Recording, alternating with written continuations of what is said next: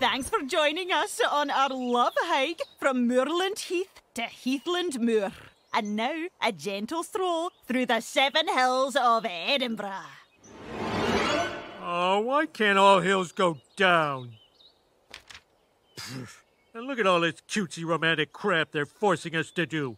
When am I gonna get some free time?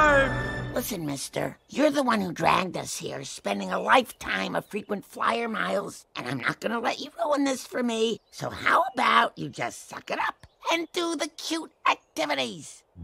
If you find yourself caught in love, say a prayer to the man above. Thank him for everything you know. You should thank him for every breath you blow. If you find yourself caught in love, prayer to the man above. Thank him for every day you pass. You should thank him for saving your sorry ass. Look, Lise, I'm gonna ask you for something I've never asked before. Your opinion. You literally haven't said a word to me this entire trip.